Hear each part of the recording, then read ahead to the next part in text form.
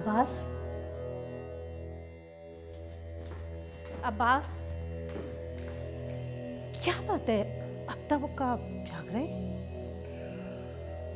हाँ। इतनी रात को किसका फ़ोन आ गया?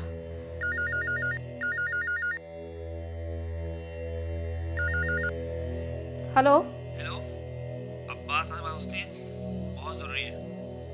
सब ठीक तो है? वो मैडम फैक्ट्री में आग लग गई। क्या? ओह my god hello sir factory में आग लग गई। कैसे? अचानक आग भड़की गई और चंद मिनट फैक्ट्री में आग लग गई।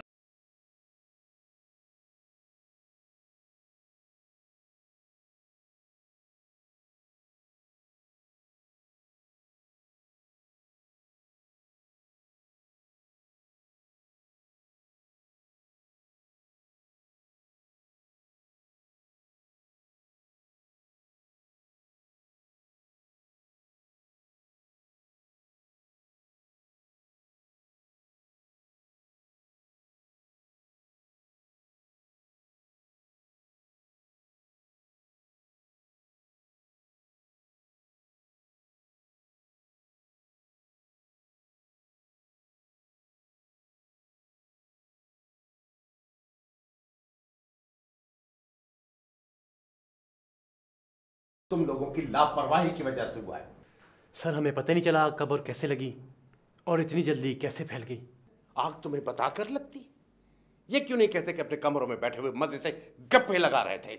हराम खोरी कर रहे थे। आग लगने से सिर्फ़ दस मिनट पहले राउंड लगा के अपने कमरे में आया था मैं। और दस मिनट के अंदर अंदर हर तरफ़ आग ही आग थी। सर ये शॉर्ट सर्किट नहीं हो सकता ये किसी की प्लानिंग है। मुझे बकवास नहीं चाहिए। ये सब तुम लोगों की लापरवाही और गफलत की वजह से हुआ है। तुम्हारा क्या क्या नुकसान तो मेरा हुआ ना? सर इस बात की इंक्वायरी होनी चाहिए। और जो जिम्मेदार है उसे सजा मिलनी चाहिए सर। इंक्वायरी क्या होगा? मेरा पैसा मुझे मिल जाएगा। फैक्ट्री दोबारा बन जाएगी। इंक्वायरी सांप निकलने के बाद लकीर पीटने से कुछ नहीं होता। Now both of you please get lost sir मेरे लिए क्या हुक्म है? सलाउद्दीन से बात हुई। जी सर वो कह रहा था कि मिनिस्टर साहब कर्जा माफ़ करने के लिए तैयार हैं मगर मगर मगर क्या? मगर सर मिठाई के लिए वो पंद्रह परसेंट मांग रहे हैं। ज़्यादा है? तीस करोड़ की मिठाई? इतनी रकम से तो शुगर में लग जाती है। सर मैं कोशिश करके दस परसेंट तक करा दूँगा। कोशिश नहीं। मुझे हंड्रेड परसेंट रिज़ल्ट चाहिए। I will try my best sir ये go right thank you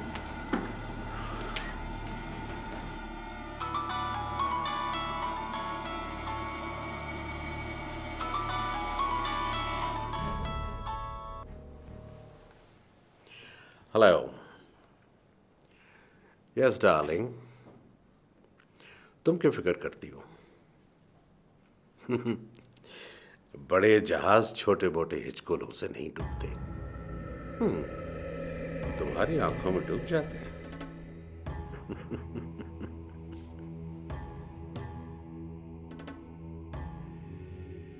सीधा सीधा आग लगने का केस है। इन्वेस्टिगेशन की क्या ज़रूरत थी?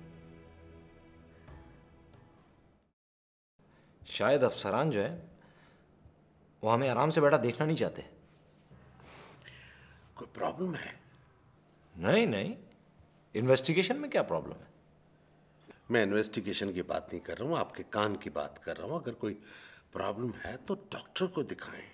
नहीं नहीं। कान में सर कुछ मैल आ गई है। वैसे उसके लिए डॉक्टर से अच्छी उंगली होती है। खैर तो उस वक्त आप घर पे थे जब आपके सुपरवाइजर ने फ़ोन किया आपको? मैं बता चुका हूँ। ओह ये तो आप बता चुके थे। वैसे नुकसान का एस्टीमेट तो आप लगा चुके होंगे। हाँ लगा रहे हैं। अंदाजन कोई डेढ़ सौ करोड़ का नुकसान हुआ है। डेढ़ सौ करोड़ यानी डेढ़ अरब। लेकिन अभी दो साल पहले तो आपने ये 25 करोड़ की खरीदी थी फैक्ट्री उस वक्त ये एक नाकारा फैक्ट्री थी। कोई मशीन चलने के काबिल नहीं थी। हमने इसे अपग्रेड किया और स्वीडन से नई मशीनरी मंगवाई। यानी काफ़ी इन्वेस्टमेंट कर दिया आपने। इंश्योरेंस भी फिर ली होगी। नहीं वो प्रोसेस चल रहा था। माय गॉड यानी कि इंश्योरेंस के बगैर तो आपका फिर बहुत ज़्यादा नुकसान हो गया होगा। डैड मैं पार्टी में जा रही हूँ। जल्दी आ जाना। कहाँ है पार्टी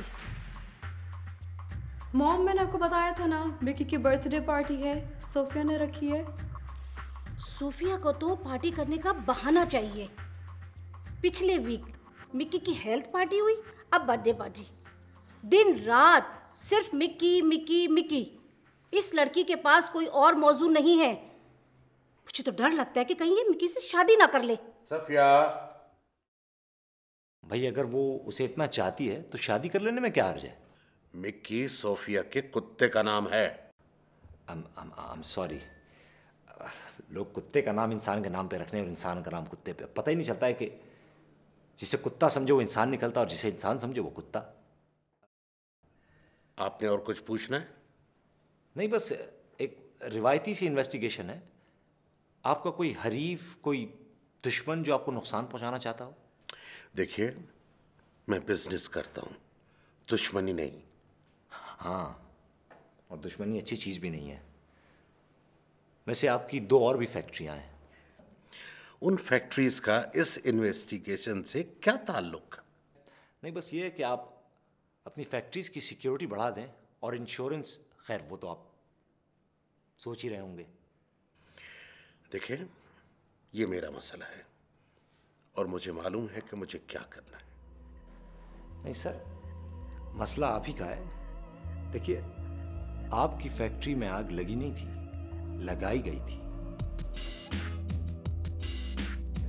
अगर आपने अपनी फैक्ट्री की इंश्योरेंस कराई होती तो शक आप पे जाता। बस आप ये करें कि अपनी फैक्ट्री की सिक्योरिटी बढ़ा लें।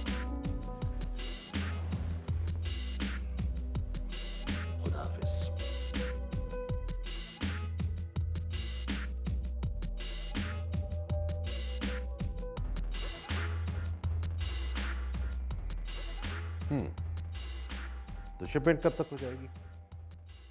मुझे कंसाइनमेंट हर सूरत में दस दिन के अंदर मिलना चाहिए। वरना ये ऑर्डर कैंसिल समझो।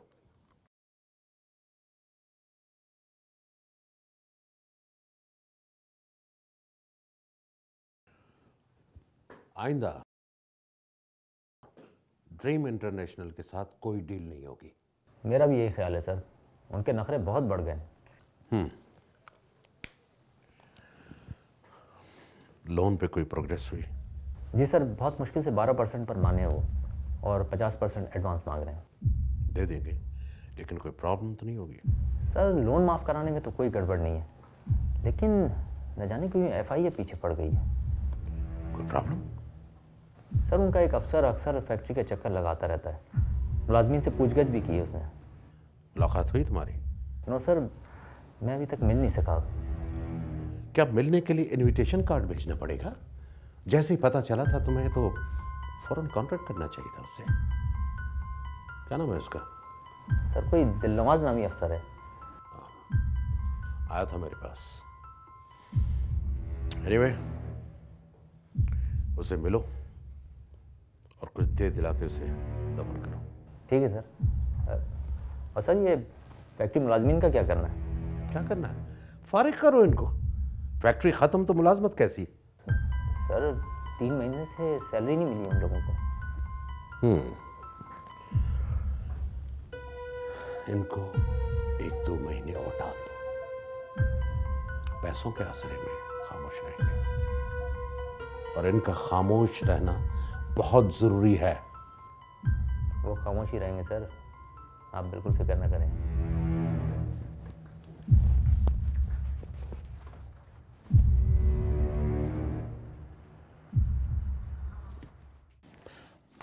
बंद करो ये केस। जब मालिक इंटरेस्टेड नहीं है और मुलाजिम को कोई भी परवाह नहीं है तो हम क्यों दर्द सरी मोल लें? सर डॉक्टर को दिखाना पड़ेगा सर। डॉक्टर? डॉक्टर का इस केस से क्या ताल्लुक है? ओ सर वो मैं कान के बारे में कह रहा हूँ केस के बारे में नहीं। सर तकलीफ़ से नींद नहीं आती है सर। मैं इस केस की बात कर रहा हूँ। तुम्हारा दूसरा कान तो ठीक है ना? अब नहीं नहीं सर अल्लाह का शुक्र है। सर मुझे पिछले तीस सालों में याद नहीं पड़ता। कभी इस कान को मैंने अंदर से सफ़ाई करवाई हो। तो जो बकवास मैंने की वो तुमने सुनी या नहीं? सर आपकी सारी ब... मेरा मतलब है बात मैं इस कान से सुन रहा हूँ। और ये कान तो वैसे सर मुझे इस केस में किसी का कोई इंटरेस्ट नज़र नहीं आ रहा है। सर दाल में काला लगता है। बकौल मालिकान सर करोड़ों की इन्वेस्टमेंट है। कोई इंश्योरेंस नहीं हुई हुई है। लेकिन सर वो फिर भी जानना ये नहीं चाहते हैं कि आग क्यों लगी कैसे लगी? इसलिए कि अब्बास साहब बहुत अमीर आदमी है। उनकी दो फैक्ट्रियाँ और भी हैं। सर ये पैसे वाले जो होते हैं ना इनका दिल बड़ा छोटा होता है। कौड़ियों का भी नुकसान बर्दाश्त नहीं कर सकते। वो मिसाल तो आपने सुनी होगी कि बनिए का बच्चा गिरता भी देख कर है। तुम कहना क्या चाहते हो? अगर फैक्ट्री इंश्योर्ड होती तो हमें उस पर शक जाता। लेकिन ये तो उसका सीधा सीधा नुकसान ही हुआ है। ये तो आप सोच रहे हैं ना। सर हो सकता है इस नुकसान से उसे फ़ायदा हुआ। वैसे भी सेठ अब्बास मशहूर है सर कि वो सड़े पुराने बीमार प्रोजेक्ट्स में कौड़ियों के ख़रीदता है उसके बाद उन पर बड़े बड़े लोन लेता है और कुछ महीनों में उनसे जान छुड़ा लेता है। सर आप चेक करवाएँ कहीं इस पर भी कोई बड़ा लोन शोन ना लिया हुआ हो। तुम्हारे एक कान बंद है लेकिन दिमाग जो है ना पूरी तरह से काम कर रहा है। सर कान पे याद आया कोई मरहम बताएँ दर्द का। अब अब ठीक है सर मैं हकीम से पूछ लूँगा। लेकिन सर एक बात है। इस फैक्ट्री में आग लगी नहीं लगाई गई है। Hundred percent. कहाँ से दे तुम्हें नौकरी? फैक्ट्री ख़त्म हो चुकी है। सेठ साहब की और भी तो फैक्ट्रियाँ हैं। वहाँ पे एडजस्ट किया जा सकता है। अरे वहाँ पहले ही स्टाफ ओवर है।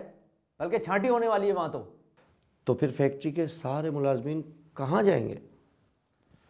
हम क्या कह सकते हैं? कहीं भी जाके नौकरी करें। सर इनमें से अक्सर लोग 10 से 15 साल से इस फैक्ट्री में काम कर रहे थे। और फिर दो साल पहले जब सेठ साहब ने फैक्ट्री ख़रीदी थी तो ये माहिदा किया था कि कोई मुलाजिम और कोई वर्कर इस फैक्ट्री से नहीं निकाला जाएगा। शायद बात समझ में नहीं आ रही तुम्हारे। फैक्ट्री ख़त्म हो चुकी है। करोड़ों का नुकसान हुआ है। और ये सिर्फ़ तुम लोगों की गफलत की वजह से हुआ है। ये तो शुक्र करो कि सेठ साहब ने तुम लोगों के खिलाफ पर्चा नहीं कटवाया, वरना इस वक्त तुम सब हवालात में होते। धमकियाँ मत दो। फैक्ट्री के सारे मुलाजमीन हैरान है कि ये आग कैसे लगी है? ये कोई प्लास्टिक, केमिकल या कागज़ की फैक्ट्री नहीं है कि पाँच मिनट में आग पूरी फैक्ट्री में लग गई? हम सिर्फ़ खामोश हैं तो इस वजह से कि हमारे ड्यूज क्लियर हो जाए और ये फैक्ट्री दोबारा तामीर कर ली जाए। अगर हमारे साथ इंसाफ नहीं हुआ तो हम कुछ भी कर सकते हैं।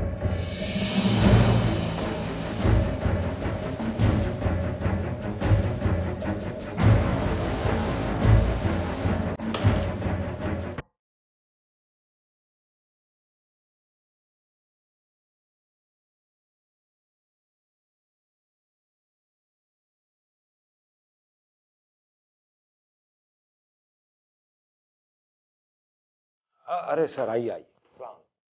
मुझे पता था आप आएँगे तशरीफ़ रखें प्लीज़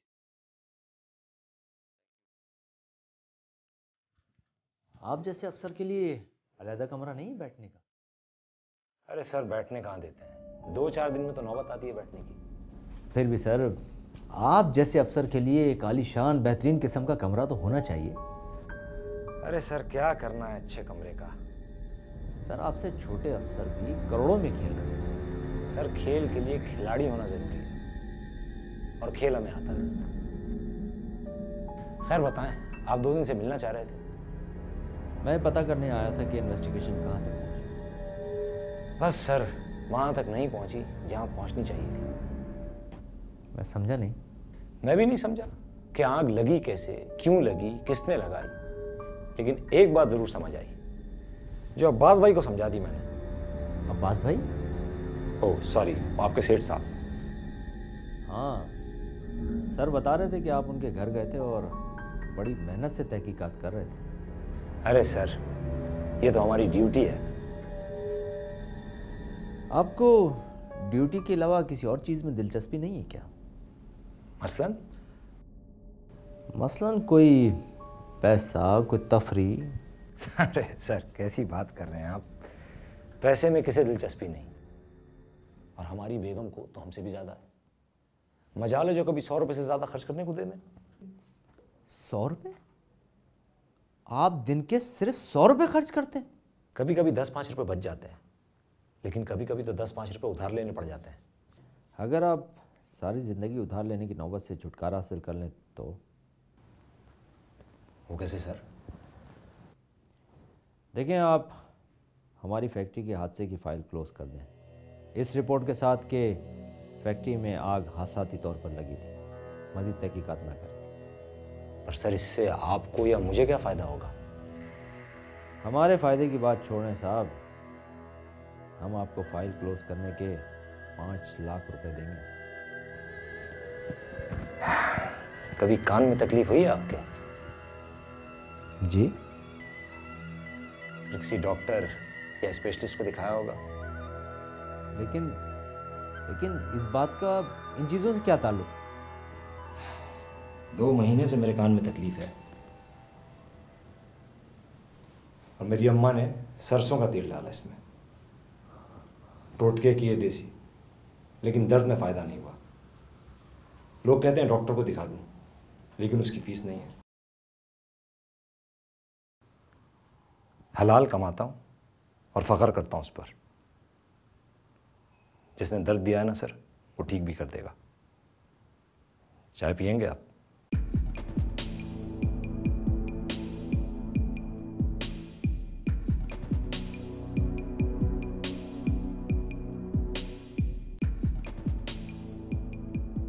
दस हज़ार पाउंड अभी पिछले महीने तो उसे पाँच हज़ार पाउंड भेजे मैंने। क्या कर रहा है इतने पैसों का? महँगा शहर है लंदन। गुजारा नहीं हो रहा होगा। मुझे मालूम है कि लंदन में स्टूडेंट को गुजारे के लिए कितने पाउंड चाहिए। ऐसा लगता है कि आपका साहबजादा पढ़ाई से ज़्यादा तफरी में दिलचस्पी ले रहा है। तो क्या हुआ? उसके अभी खेलने कूदने के दिन है। एंजॉय क्या आपकी उम्र में जाके करेगा? क्या मतलब है? मैं बूढ़ा हो गया हूँ। बातें तो आप बूढ़ों वाली कर रहे हैं।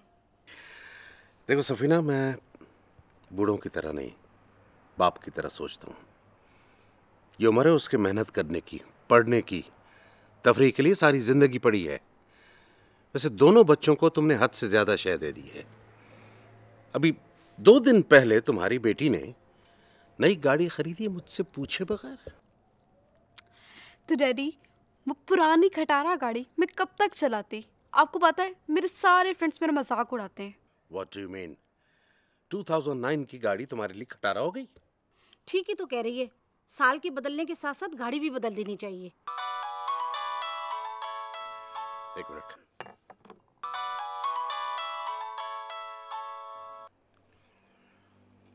हेलो? सर एक बुरी खबर है। ये तुम सारी बुरी खबरें मुझे क्यों सुनाते हो? सर पुलिस ने छापे के दौरान चंद गुंडे पकड़े। तो मैं क्या करूँ?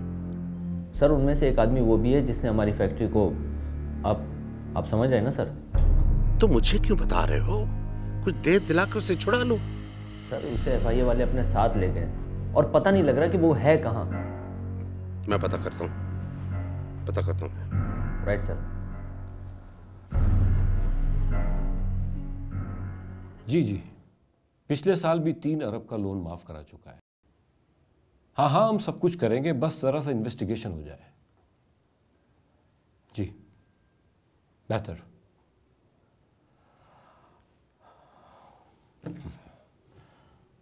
तुम्हारा अंदाज़ा दुरुस्त साबित हुआ।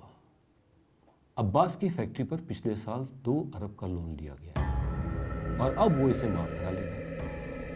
और हाँ ऐसा ही होगा शायद। मेरी इंफॉर्मेशन के मुताबिक फाइनेंस मिनिस्टर से बात चल रही है। यही नहीं उसकी फैक्ट्रियों पर अरबों रुपयों का लोन है। सर यही तो उनका धंधा है। लेकिन इस बार वो ऐसा नहीं कर सकेंगे। क्यों? क्यों नहीं कर सकते? करप्शन वालों के हाथ बहुत लंबे होते हैं। लोन माफ़ करवाने वाले कर्जा मंजूर करवाते वक्त अपना हिस्सा लेते हैं और लोन माफ़ करवाते वक्त फिर कमीशन लेते हैं। हाँ बस जवाब मिलना चाहिए कि जैसे ये फैक्ट्री को आग लग गई। सर फैक्ट्री को आग नहीं लगी है लगाई गई है। मैं आप पे साबित कर दूँगा। तुम उस आदमी के बलबूते बात कर रहे हो जिसे तुमने कल गिरफ़्तार किया है। सर ये आप ये ब... दिल नवाज़ दिल नवाज़। मैं इस पोजीशन पे ऐसे नहीं पहुँच गया हूँ। मेरी कई आँखें कई कान। मैं तो ये भी जानता हूँ कि तुमने अब्बास के आदमी नैयर को क्या कहा? सर, लेकिन उसने तो फैक्ट्री में आग लगाने का एतराफ भी किया है। सो व्हाट कोर्ट में जाके वो अपना स्टेटमेंट चेंज कर देगा। फिर उसकी जमानत हो जाएगी। फिर वो किसी फैक्ट्री दुकान या बैंक को आग लगा रहा होगा। सर हम उनके साथियों को भी गिरफ़्तार करने की कोशिश कर रहे हैं। और इस सिलसिले में फैक्ट्री के चंद लोग भी हमारे साथ हैं। देखो दिन नवाज़ दो चार दिन में तुम जो कुछ कर सकते हो कर लो। मुझे हायर अथॉरिटी से बार बार फ़ोन आ रहा है उस आदमी की रिहाई के लिए। मैं इससे ज़्यादा प्रेशर बर्दाश्त नहीं कर सकता। You follow what I mean ji sir. दो आदमी तुमसे नहीं संभल रहे। न ये पता चल रहा है कि उस बंदे को कहाँ रखा गया और न ही एक मामूली पुलिस इंस्पेक्टर तुम्हारी बात मानने को तैयार है। सर मैं पूरी कोशिश कर रहा हूँ। मैं दिलनवाज के घर भी गया था। लेकिन सर वो हर बात में कान खुजाने लगता है। आप सर ऊपर बात क्यों नहीं करते? तुम क्या समझते हो मैं हाथ पे हाथ रखे बैठा हूँ? इस्लामाबाद से फ़ोन करवाया लेकिन ये शाहजेब टाल मटोल कर रहा है। शुक्र करो कि मामला प्रेस में नहीं गया। वरना सारी बात खटाई में पड़ जाती खोलो दरवाज़ा खोलो। मैं कहता हूँ दरवाज़ा खोलो हमें अंदर आना है। ये क्या बदतमीजी है? हमें हमारा हक चाहिए। आज और अभी। तुम तुम मुझसे बात करो। तो क्या बात करें तुझसे? हमें हमारे तीन महीने की तनख्वाह और प्रोविडेंट फंड चाहिए। सुनो। अगर बात करनी थी तो इस तरह से गुंडागर्दी करने की क्या ज़रूरत थी? तुम क्या समझते हो? दो चार लोगों को लेकर आओगे और हम तुम्हारे दबाव में आ जाएँगे। दो चार नहीं फैक्ट्री के तमाम वर्कर गेट के बाहर खड़े हैं। कहें तो उन्हें भी अंदर बुलाऊं। देखो तुम लोगों के अकाउंट्स तैयार हो रहे हैं। जल्दी सबकी सैलरी भी मिल जाएगी। हमें थोड़ा सा वक्त चाहिए। कान पक गए हैं ये सुन सुनकर दो महीने गुजर गए हैं। घरों में फाके पड़े हुए हैं। बच्चों की दवाई लाने को पैसे नहीं है और तुम लोगों के हिसाब ही नहीं खत्म होने में आ रहे। हमें थोड़ा सा वक्त चाहिए। बहुत नुकसान हुआ है और फंड्स जमा करने में टाइम तो लगेगा। नुकसान? क्या नुकसान हुआ है आपका? चंद नाकारा मशीनें जो जल गई और उसके बाद मशीनों के नाम पर जो स्क्रैप बाहर से मंगाया था, वो चला आप किसे बेवकूफ़ बना रहे हैं, सेठ साहब? हमें सब मालूम है क्या हम जानते नहीं कि चंद करोड़ की फैक्ट्री के एवज आपने अरबों रुपए का कर्जा ले रखा है। याद रखें सेठ साहब अगर एक हफ़्ते के अंदर हमारे पैसे नहीं क्लियर हुए तो हम प्रेस को बता देंगे कि ये आग लगी नहीं है बल्कि लगाई गई है।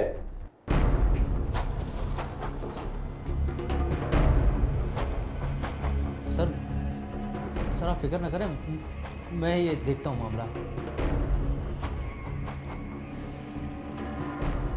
तुम्हारे लिए भी सिर्फ़ एक हफ़्ता बाकी है।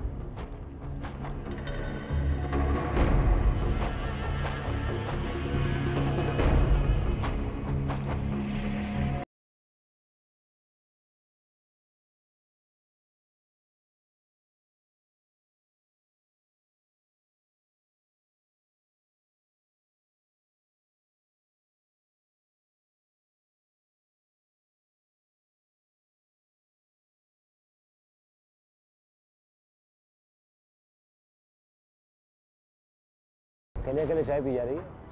आप भी पीजिए मंगवा दो आज वैसे ही बड़ी सर्दी हो रही है। ए एक दूध पत्ती दे। क्या हुआ फिर? क्या मतलब?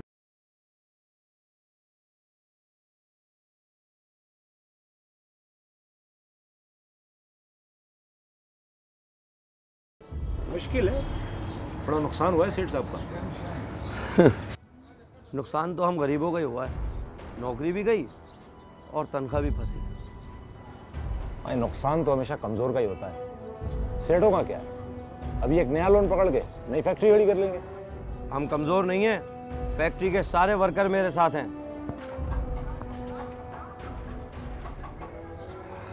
कब तक?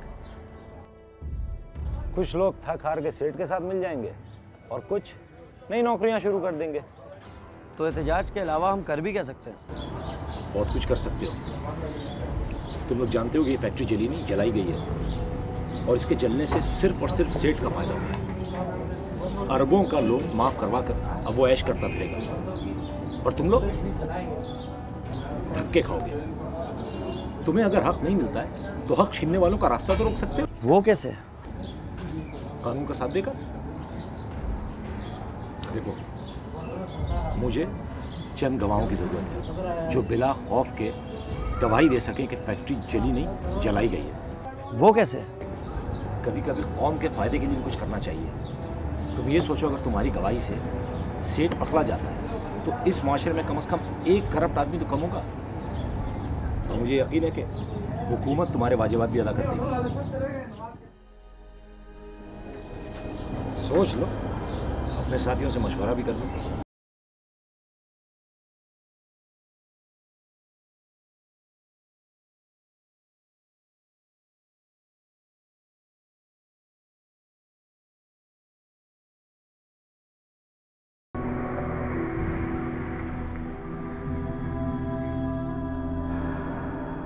मेरी चली नुकसान मेरा हुआ और आप तहकीकात भी मेरे खिलाफ कर रहे हैं। हम तो हकाइक जानने की कोशिश कर रहे हैं और ये हमारी ड्यूटी है।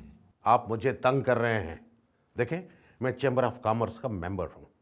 हुकूमत को करोड़ों रुपए सालाना का टैक्स देता हूँ रोज़गार देता हूँ लोगों को और आप लोग मेरे साथ ये सलूक कर रहे हैं। हम ऐसा कुछ भी नहीं कर रहे हैं। क्या नहीं किया आपने? आप मेरे लोगों को हिरासा कर रहे हैं। क्रिमिनल लोगों को पकड़कर मेरे खिलाफ गवाही दिलवाना चाह रहे हैं। और आपका वो इंस्पेक्टर वो तो मेरे घर पहुँच गया। जैसे कसूरवार मैं ही हूँ। अब्बास साहब हमें ऐसे शवाहिद मिले हैं कि फैक्ट्री को जानबूझकर आग लगाई है और अगर ऐसी बात है तो ये आपके लिए भी जानना ज़रूरी है। और ये हमारी ड्यूटी है। मुझे आपकी ड्यूटी का पता है। आप लोग सिर्फ़ मुझे तंग कर रहे हैं। खौफ ज़्यादा करना चाहते हैं मुझे ताकि मैं आपका मुँह बंद कर सकूँ। एक बात बता दूँ। मेरी पहुँच इस्लामाबाद तक है। मुझे अंदाज़ा है कई फ़ोन आ चुके हैं और जहाँ तक मेरे मुँह बंद करने का ताल्लुक है तो अभी तक तो बंद है। और बेहतर है इसे बंद ही रहने में तो फिर अपने अफसर को कहें कि मेरे लोगों को तंग करना बंद करें। मुझे किसी तहकीकात की ज़रूरत नहीं है। कमान आओ फिनिश इट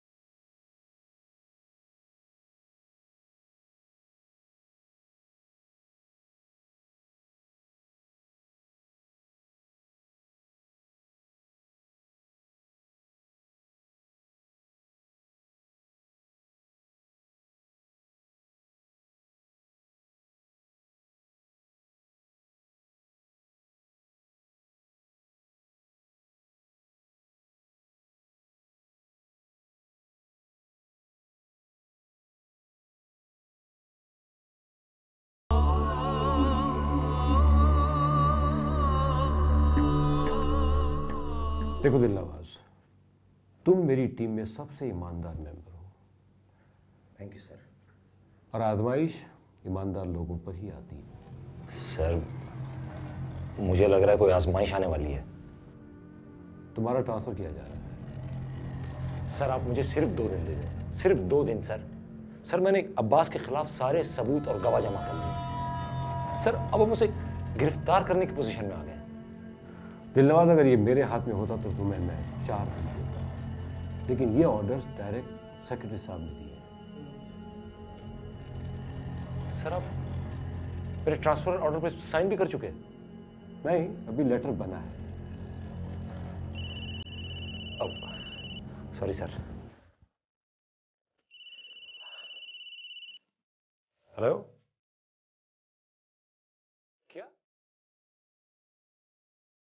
मैं आ रहा हूँ, मैं आ रहा हूँ। क्या हुआ? सर, वो अपने पाँच साथियों समेत गवाही देने के लिए तैयार हो गया था। सर, अब इस केस में एक नया चेंज आ गया है और मुझे यकीन है सर कि इस मर्डर के पीछे अब्बास कहाँ थे।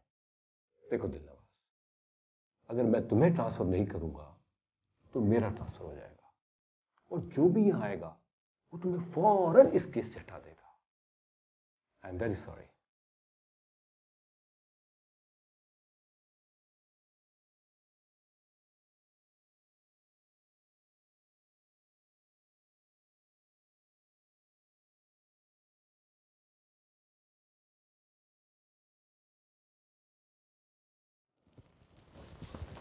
So thanks for coming. आइए बेगम साहब आइए। इनसे मिलिए ये हमारे खास दोस्त शाहजेब साहब। बड़ी तारीफ़ करते हैं आपकी। फैक्ट्री के केस में आपने हमारी बहुत मदद की। वो भी कोई काम था? अगर ये हुक्म करें तो हम बहुत कुछ कर सकते हैं। क्यों नहीं क्यों नहीं? फ़िलहाल तो मैं स्विट्जरलैंड जा रहा हूँ। एक महीने के लिए कुछ वहाँ अकाउंट्स चेक करने। वापस आऊँगा। आपके साथ मिलकर एक बहुत बड़ा प्रोजेक्ट करेंगे ज़ाहिर आपका कर्जा जो माफ़ हो गया। वो तो होना ही था क्योंकि हमारे हर जगह आप जैसे दोस्त होने भी चाहिए दोस्त दोस्तों के काम नहीं आएगा तो कैसे काम चलेगा? आप हमारी फेवर करें हम आपकी इसी तरह दुनिया चल रही है। कुछ लोग स्टूपिड भी होते हैं। आजकल आपका अफसर नज़र नहीं आ रहा। बेवकूफ़। पता नहीं कहाँ है। ट्रांसफ़र ऑर्डर मिलने के बाद रिजाइन कर दिया। अहमद का आदमी था। हमारे साथ हाथ मिला लेता आपकी तरह मज़े करता। अच्छा बताएँ कि आप रवाना कब हो रहे हैं कल शाम की फ़्लाइट है हमारी। Good have a nice trip